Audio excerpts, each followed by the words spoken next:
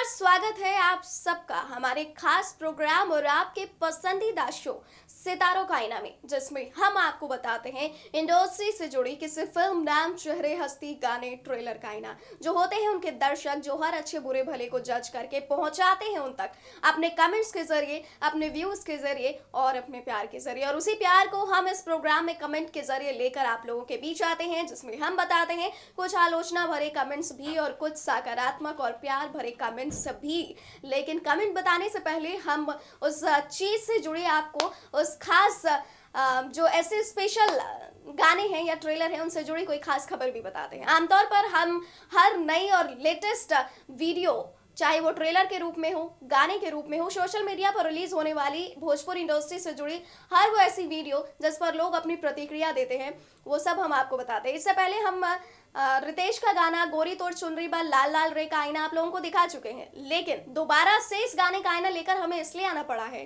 क्योंकि बड़ी तेज़ी से इस गाने की व्यूज़ बढ़े हैं। जब हम इसका पहली बार आईना लेकर आए थे तो तब शायद इसे उतने लोगों ने नहीं देखा था जितने लोगों ने आज देख लिया है। एक महीने के अंदर तीन करोड़ से ज़्यादा व्यूज़ हासिल कर चुका है ये गाना और उम्मीद लगाई जा रही है क्योंकि ग्राफ बहुत तेज़ी से आगे भाग रहा है। देखकर अंदाज़ा लगाया जा रहा है कि पवन सिंह के बाद रितेश भी दो दो गानों से इंडस्ट्री में हाईएस्ट व्यूज़ के रिकॉर्ड स्थापित कर सकते हैं। गोरी बा, तोड़ चुनरी बा लाल लाल रे, इतना ज़्यादा पॉपुलर है कि हिंदी सिने प्रेमी, हिंदी संगीत प्रेमी भी इस गाने को बड़े चाव से सुन रहे हैं और इस पर वीडियो बनाते नज़र आ रहे हैं। फ़िलहाल तीन करोड़ व्यूज़ आगे बढ़ने के बाद लोगों ने कैसी प्रतिक्रिया दी है? कितने लोगों ने आलोचना की है? वो सब बताएँगे। लेकिन उससे पहले रितेश के इस गाने से जुड़ी एक खास खबर जान लेते हैं। यहाँ। वैसे तो अभी तक भोजपुरी सिनेमा एल्बम्स के सहनशाह गायकी के सिरमौर, पवन सिंह को कहा जाता है, क्योंकि सोशल मीडिया पर भी और आम दर्शकों में भी उनकी पहचान और उनके गाने की लोकप्रियता काफ़ी ज़्यादा है। लेकिन पवन सिंह के बाद अगर किसी की बात करें तो वो हैं रितेश पांडे, जिनके गानों को सोशल मीडिया पर बहुत सराहा जाता है। और पवन सिंह के बाद रितेश ही हैं, जिन्होंने एक गाने से हाईएस्ट व्यूज़ का रिकॉर्ड बनाया हुआ है। रितेश पांडे का एक और गाना बड़ी तेज़ी से आगे बढ़ रहा है, जिसने खेसारी लाल के भी गाने को पीछे छोड़ दिया है। जी हाँ रितेश पांडे का एक गाना एक महीने पहले रिलीज़ किया गया था, जिसके बोल थे गोरी तोड़ चुनरी बाल लाल लाल रे म्यूज़िक से इस गाने को 8 दिसंबर 2018 को रिलीज़ किया गया था। एक महीने में इस गाने को 31 मिलियन, यानी साढ़े तीन करोड़ लोग देख चुके हैं। जबकि खेसारी लाल का गाना ठीक है, चार महीने पहले रिलीज़ किया गया था, जिसे 40 मिलियन, यानी चार करोड़ लोगों ने देखा है। रितेश का गाना कुछ ही दिनों में खेसारी के गाने का रिकॉर्ड छू सकता है, लेट से रिलीज़ होने के बावजूद। करीबी सूत्रों की माने तो अपने इस गाने से रितेश फिर से पूरा हाईएस्ट रिकॉर्ड बना सकते हैं। और अपने दो हाईएस्ट व्यूज़ का रिकॉर्ड बनाकर पवन की बराबरी भी कर सकते हैं। पवन से बराबरी, यानी इंडस्ट्री का सुपरहिट सिंगर फ़िलहाल दोनों की इस रेस में, खेसारी और रितेश की इस सोशल मीडिया की रेस में कौन बनता है इंडस्ट्री का दूसरा बेस्ट सिंगर ये आने वाला समय ही बता पाएगा, लेकिन फ़िलहाल ठीक है के साथ साथ गाना गोरी तोड़ चुनरी बा लाल लाल रे भी लोगों की पसंद में बराबर बना हुआ है। Next two nine news Bhojpuriya से ममता की रिपोर्ट तो जितने लोगों को पसंद आए हैं, जितने लोगों ने इस गाने को शेयर कर करके कर करके आगे बढ़ाया है, जितने लोगों ने वीडियो बनाई है, जितने लोग टिकटॉक की वीडियो देखकर इस गाने को सुनने आए ऐसे तमाम कमेंट्स हैं जो इस गाने की तारीफ़ करते नज़र आए हैं और सिंगर की तारीफ़ करते नज़र आए हैं। वैसे क्रेडिट पहला इस गाने का विशाल दुबे को ही जाता है, लेकिन दोबारा इस गाने को नए वर्जन में बनाने का क्रेडिट सिर्फ़ और सिर्फ़ रितेश पांडे को जाता है। फ़िलहाल रितेश पांडे के इस गाने को कितने लोगों ने प्यार दिया है, कैसे प्यार भरे कमेंट्स किए हैं? देखिए जरा। परदेसी फिल्म्स लिखते हैं मस्त वीडियो, रितेश भाई छा गए बिहार में। अमायरा लिखती हैं ऑसम विकी गोवा लिखते हैं 40 दिन में 28 मिलियन व्यूज़।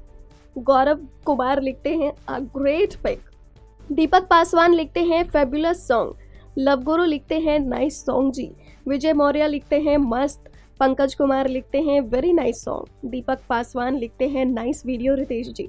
विकू कुमार लिखते हैं, जियो रितेश पांडे, वीडियो बहुत अच्छा लगा हमें। आगे इन्होंने जो भी चीज़ें लिखी हैं, वो रितेश पांडे के भले के लिए ही लिखी हैं और इससे पता चलता है कि इन्हें रितेश का गाना बहुत ज़्यादा पसंद आया होगा।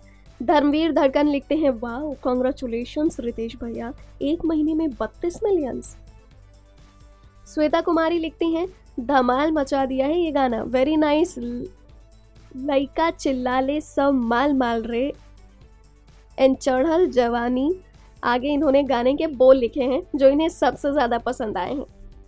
मोहित दुबे लिखते हैं, तीस दिन में दो करोड़ व्यूज़ रितेश पांडे जी के फ़ैन वाओ दरअसल, ये कमेंट एक हफ़्ते पहले का है, क्योंकि दो करोड़ से बहुत आगे इस गाने के व्यूज़ बढ़ चुके हैं और बड़ी तेज़ी से आगे बढ़ रहे हैं।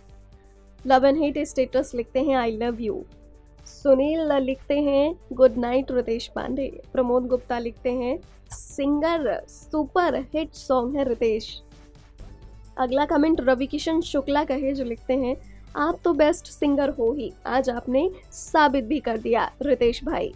राफी शेख लिखते हैं, इक्कीस हज़ार डिसलाइक जलने की भी हद होती है यार। यानी इन्हें भी इस बात का बुरा लग रहा है कि रितेश के इस गाने को लोगों ने डिसलाइक क्यों किया? क्योंकि इन्हें ये गाना बहुत पसंद में आया है। आशुतोष बबलू लिखते हैं, प्रियंका सिंह, अंतरा, आप फ्यूचर की इंदु सोनाली हैं। आपकी आवाज़ कमाल है। भोजपुरी में आइटम सॉन्ग के नाम से जाने जाओगे।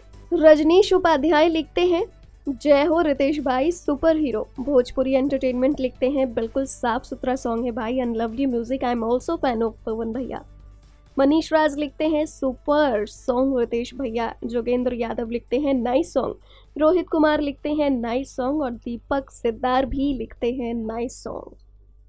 ये अच्छे अच्छे और प्यारे प्यारे कमेंट जानने के बाद वक्त हो चला है कुछ आलोचना भरे कमेंट्स भी जान लेने का जिसमें लोगों ने जमकर इस गाने की खिंचाई की है कमियाँ निकाली है अपना गुस्सा निकाला है।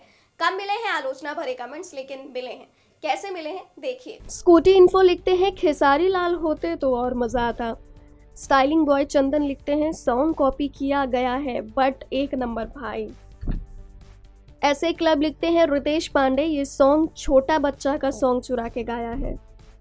अरमान खान लिखते हैं, आपने फ़ेमस करवाना, आगे इन्होंने गालियाँ लिखी है। देवेंद्र कुमार लिखते हैं येलो टी शर्ट वाले का एटीट्यूड किसको अच्छा नहीं लगा? जकास वीडियो लिखते हैं, लड़के के टैलेंट को चुराया हुआ गाना है भाई, सहमत हो तो लड़के के लिए लाइक करो। डब्ल्यू कुमार लिखते हैं इन्होंने, इन्हें भी शायद गाना पसंद नहीं आया है और इसलिए इन्होंने अपना गुस्सा इस तरह से निकाला है और ऐसे शब्दों से निकाला है कि हम बोल भी नहीं सकते, आप लोग देख सकते हैं। हम बोल नहीं पा रहे हैं, लेकिन आप लोग इसे पढ़ सकते हैं। अजय शर्मा लिखते हैं, दूसरे का गाना है जी, बेकार है। इस्लाम रॉक लिखते हैं, भाई रितेश, ये गाने को कॉपी किया है। आपका राइटर ने फ़र्स्ट टाइम ये गाना दूसरा सिंगर ने गा चुका है, उसका भी बहुत ही अच्छा लगा वाला आवाज़ है। वैसे आपका कॉपी बहुत अच्छा लगा सुन के, चलते रहो भैया सब लोग। चंदन यादव लिखते हैं, ये तो पहले तूफानी लाल यादव ने गाया था, वही गाने का कॉपी किया है।